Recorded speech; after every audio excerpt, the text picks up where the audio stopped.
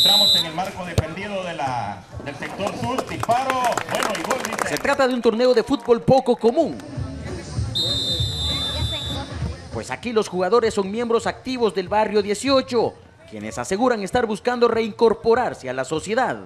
Queremos que, que se nos tome en cuenta, ¿me entiendes? No solo como, como personas, ¿verdad? Sino también como un, unas, unas personas de respeto, así como nosotros queremos portarnos con ellos también, queremos que se nos tome en cuenta.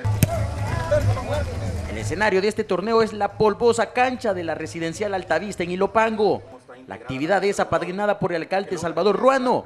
Él dice que continuará impulsando programas dirigidos a pandilleros, aunque sea criticado, pues lo que importa es el resultado a favor de la población.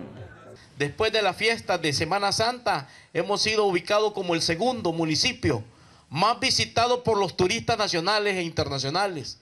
Hoy hemos cambiado. Los pandilleros dicen estar dispuestos a cambiar, pero sostienen que necesitan ser apoyados. Es más, aseguran que hasta dejarían de extorsionar si se les abren fuentes de empleo. Sí, por supuesto, ¿me entiendes? Todo depende de la ayuda que recibamos, ¿me entiendes?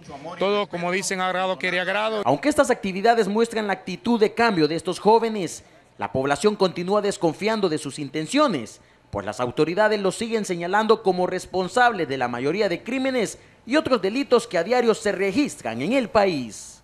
Estos jóvenes aseguran que continuarán participando en actividades de este tipo con el objetivo de demostrar que desean reincorporarse a la sociedad. Julio Guevara, TN21.